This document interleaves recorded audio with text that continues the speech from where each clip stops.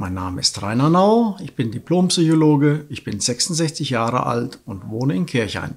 Und ich kandidiere als Stadtfordernder für Bündnis 90 Die Grünen. Warum trittst du bei dieser Wahl an?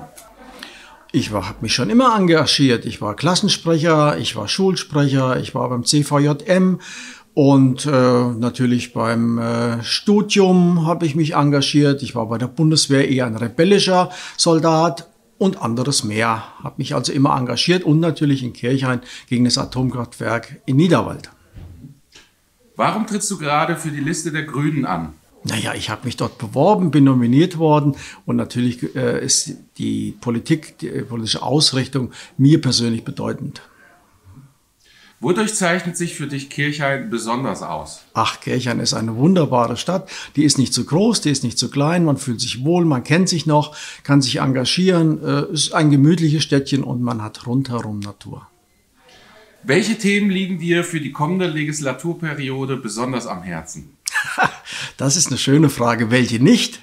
Natürlich, äh, wenn man wie ich äh, schon 34 Jahre im Stadtparlament ist, ist man mit allen Themen betraut, habe viele Dinge neu kennengelernt und ich werde mich immer auf das konzentrieren, was gerade ansteht. Und da muss man abwägen zwischen den verschiedenen Themen und Richtungen, aus verschiedenen Dingen die richtige Lösung suchen. Das macht mir Spaß.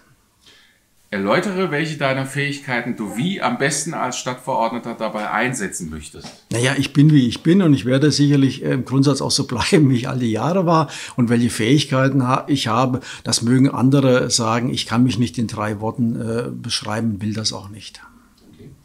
Auf welchen Spruch oder Satz reagierst du allergisch? Das geht nicht oder alternativlos. Es gibt immer Möglichkeiten. Man muss sich entscheiden, abwägen natürlich vorher und dann zu seiner Entscheidung auch stehen. Natürlich kann man sie korrigieren, wenn man äh, schlauer geworden ist, aber geht nicht. Nee, das gibt's nicht. Man kann immer abwä abwägen.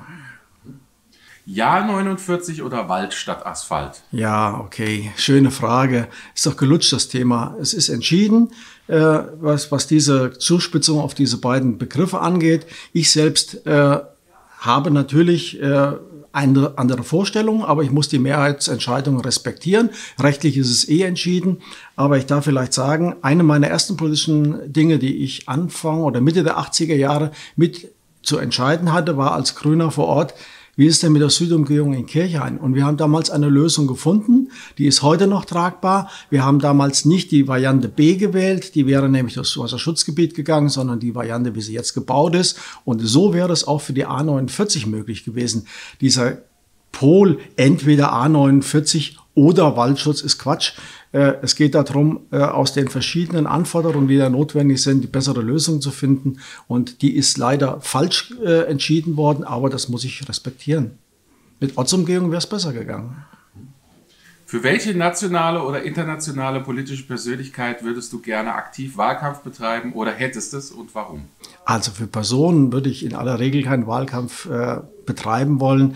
Ich bin grundsätzlich ein Mensch, der nach Themen äh, sucht und mit anderen zusammen im Team Lösungen erarbeitet. Also die Ausrichtung ist wichtig, weniger die Personen. Natürlich gibt es interessante Persönlichkeiten, äh, selbstverständlich, aber äh, in dem Sinne Wahlkampf machen, äh, das ist nicht mein Ding. Also gerade Personenwahlkampf, deswegen hängen auch bei uns keine Plakate mit Personen in Kirchhain.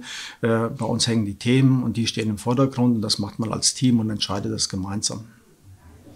Was ist dein Wunsch für die Arbeit mit den zukünftigen potenziellen KollegInnen? Naja, jeder soll so sein, wie er ist und äh, aus jeder wird sich engagieren im Rahmen seiner Vorstellungen, Möglichkeiten und jeder soll authentisch sein und das hat man so respektieren und das ist in Ordnung. Und aus der, aus der Fülle der Angebote wird hoffentlich dann die beste Lösung gefunden. Leider ist es nicht immer so, aber das, auch das muss man hinnehmen. Suche dir eine Kandidatin oder einen Kandidaten einer anderen Liste heraus und beschreibe, welche positiven Eigenschaften du an dieser Person schätzt. Naja, genau so. Sie sollen so sein, wie sie sind. Sich nicht verbiegen, gerade heraus, äh, offen natürlich. Äh, aber ich werde mir da keine Person heraussuchen. Äh, es ist wahrscheinlich die Mischung aus allen. Was möchtest du in Zukunft für den Abbau von Politikverdrossenheit, vor allem in der Kommunalpolitik tun? Sorry, das ist nicht mein Job, das muss jeder selbst entscheiden. Wir leben in einer Demokratie und da muss jeder selbst wissen, was er tut und was er nicht tut. Wenn, man's, wenn man sich nicht einmischt, dann muss man sich nicht wundern, wenn andere Entscheidungen treffen. Du hast noch etwas Zeit, möchtest du noch was sagen? Ach, äh, ich finde Wahlkampfzeiten immer so furchtbar. Das nervt. Da hat auf einmal, was im Moment überall in den Medien los ist und weil die Versprechungen gemacht werden.